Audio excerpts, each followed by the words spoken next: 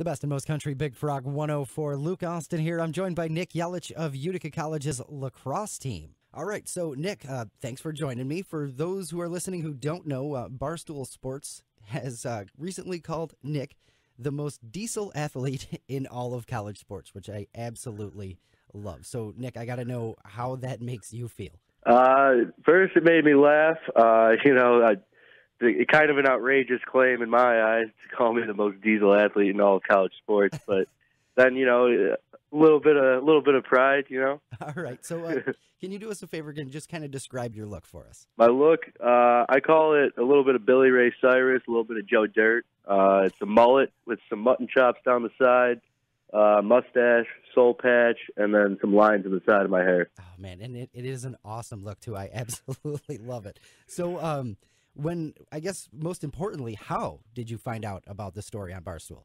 Uh, I well, I woke up and I had so many messages on my phone from friends and family that were just like, "You made it on Barstool! I can't believe this!" Like, so they were going nuts, and then that's how I ended up finding out. So, what do you think your favorite like message was that you got?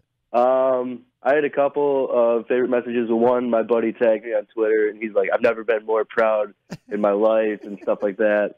Um, my cousin also did the same thing. He goes, "I'm so proud to be blood. Like, can't believe we're family."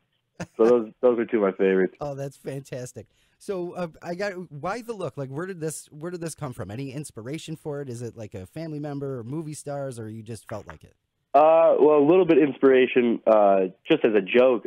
My football, I played D line for football here at Utica, Right. and me, me and my buddies were joking around. We're like, "Oh, let's all grow out mullets," you know. so we started this whole thing, mullets and dad bod. Oh, great. Yeah, so uh, we did that for football, and I didn't actually have the cut. And then this is my senior year of lacrosse, so I was like, "Oh, time to go all out." So do the hair, and then do some facial hair that's crazy, and you know, it'll be funny. That's awesome. So, have uh, has anybody else reached out to you to to talk about this? Um, not really. Uh, the Vancouver Stealth actually messaged me and said that they're going to give me a shout out on their radio show, but that's pretty much about it. Wow, that's awesome. So, how long do you think you're going to keep the look? Is this gonna you're going to stay with this going forward and try to get into, you know, uh, professional lacrosse or anything like that, or are you going to like get rid of it after uh, the season? Uh, well, uh, I guess in that case, I'm actually kind of a fraud because I already cut it. Oh, oh, yeah, bummer. no, but the thing is, I had been growing my hair for a year and a half, and long hair just sucked, so I had to get rid of it. But I know, I know, everyone was so disappointed. Oh, that's all right though. So, uh, do, do you think uh, did it help on the field? Did it intimidate anybody? You think? Oh yeah, are you kidding me?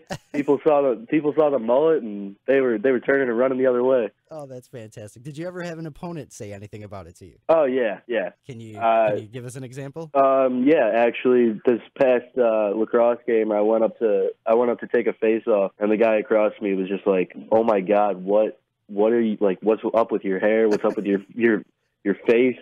It was just kind of it was kind of funny, Oh, you that, know. that is hilarious. That's fantastic. All right, man. Well, that is great. I, I love that uh, a Utica College. Like I, I said, I'm a Utica College alum too, so I love seeing uh, anybody from Utica College getting some love, especially the most diesel athlete in all of college sports. Thank you. all right, man. I appreciate your time. That was awesome. No, thank you.